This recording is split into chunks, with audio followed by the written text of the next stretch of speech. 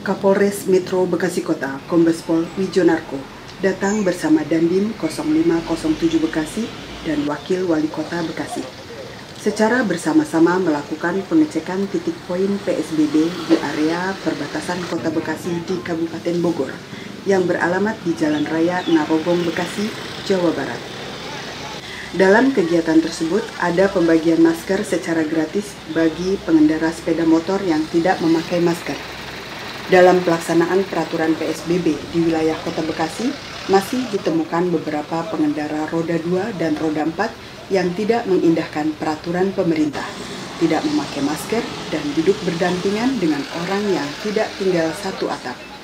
Bagi mereka yang tidak mau menerima peraturan yang telah dibuat pemerintah, akan mendapatkan sanksi, seperti sanksi tegas yang dikeluarkan oleh petugas, berupa menurunkan penumpang yang tidak tinggal satu atap.